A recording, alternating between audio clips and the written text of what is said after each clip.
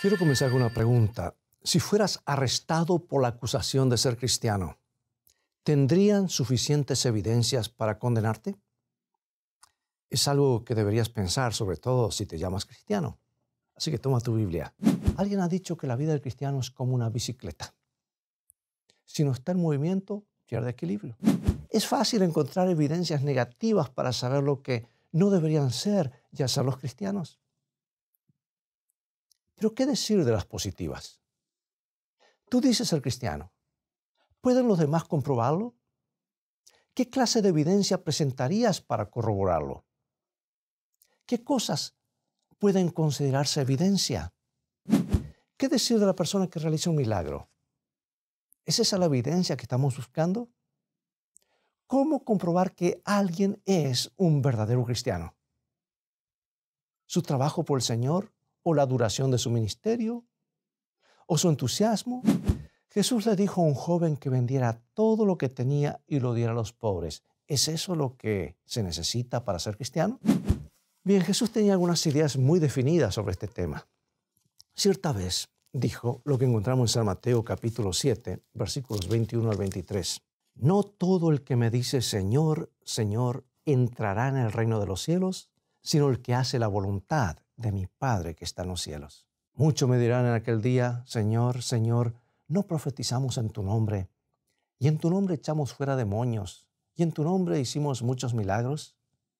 Y entonces les declararé, nunca os conocí, apartaos de mí, hacedores de maldad.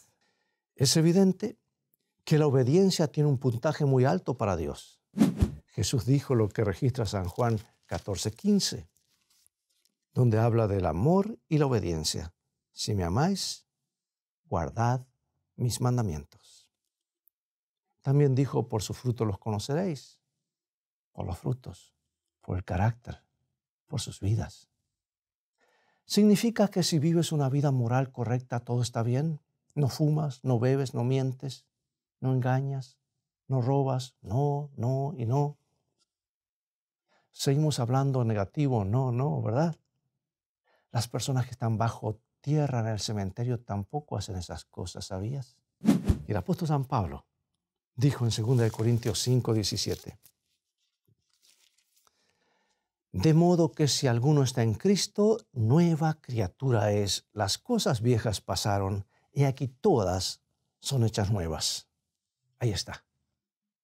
Esa es la evidencia, amigo y amiga.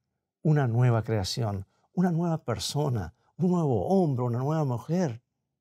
Un hombre o mujer que ha sido transformado de tal manera que es tan diferente de lo que era antes que solo puede ser descrito como una nueva creación, una nueva persona.